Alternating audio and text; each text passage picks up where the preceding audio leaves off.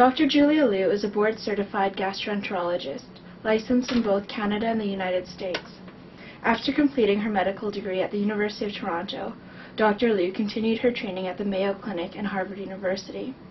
Dr. Liu is an assistant professor of medicine and a staff gastroenterologist at the University of Alberta, with a research interest in endoscopic treatment of gastroesophageal reflux disease.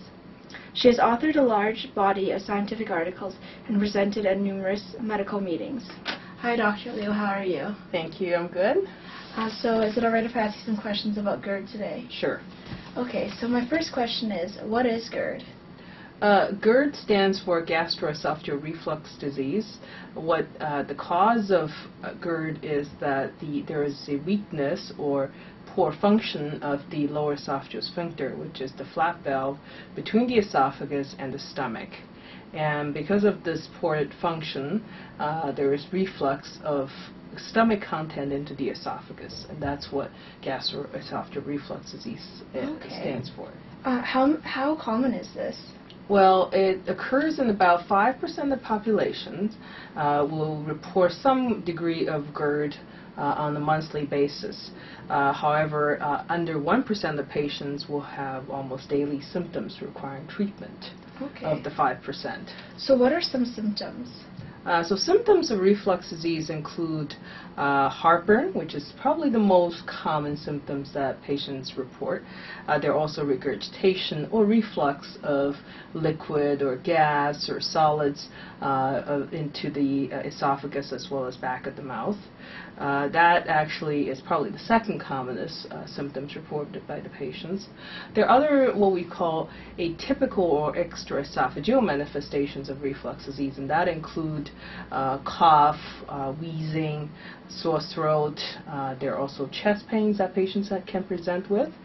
Uh, there are additional symptoms uh, that may be also attributed to reflux, um, but it's, it needs to be further tested uh, before we can conclude that they are caused by reflux. So those are the ones that we- call extraesophageal manifestations, or Okay. atypical symptoms. Uh, if someone's experiencing these symptoms, what would you recommend that they do? We would typically recommend the patients to uh, go to see their family doctor first, get the diagnosis that they indeed have reflux disease, and if they do have reflux disease, they should be treated. Uh, fortunately, we have excellent treatment for gastroesophageal reflux disease, and uh, the medical treatments uh, nowadays are uh, mostly consisting of proton pump inhibitors, which are very potent drugs that reduce gastric acid secretion.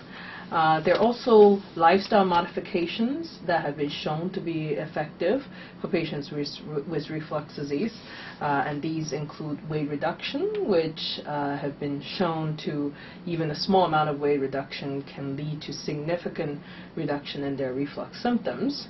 Uh, there is also smoking cessation, uh, as well as uh, elevating head of the bed. Try not to eat uh, for three to four hours before bedtime. Uh, we also advise patients to have small meals, frequent meals rather than large, um, you know, infrequent meals.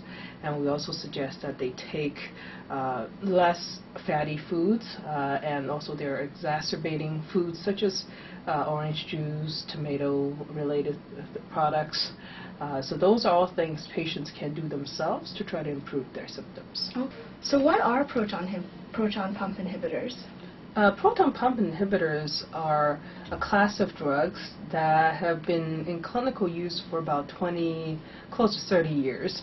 And what they are are uh, very potent binders of acid pump secretion uh, machinery in the uh, gut, particularly in the stomach. So uh, these drugs, when the patients take them, essentially reduce the acid production of the stomach to uh, negligible, negligible amounts. So essentially, patients will have a fairly neutral uh, stomach secretion. Uh, a, a neutral pH would be pH of 7, but often the patients will be able to reach uh, pH of over 6 or above.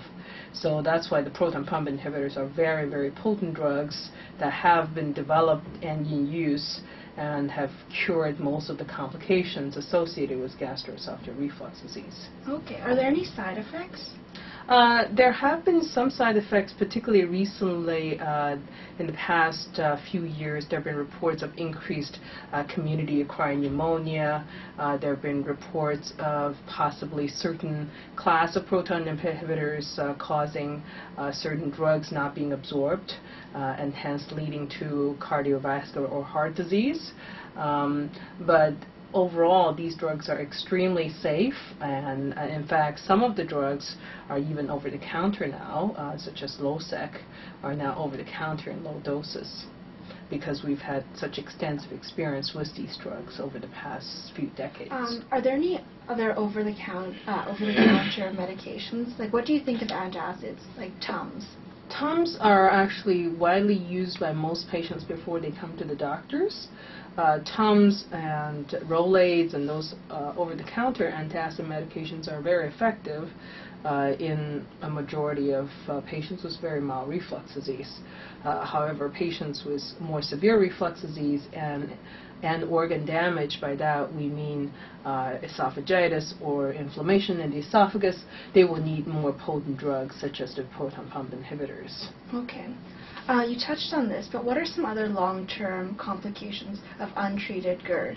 Long-term complications of uh, untreated reflux disease uh, can range from anywhere as severe as esophageal cancer, which has been shown to be related to chronic uncontrolled reflux disease, uh, to stricture formation or narrowing of the esophagus, which are often resulting resulted from uh, chronic uh, reflux esophagitis, uh, or they can just have uh, reflux esophagitis with or without bleeding, uh, which is also another complication of reflux disease. Um, but all of these uh, can be treated and remedied once they are treated, once the patient are um, treated with medical therapy.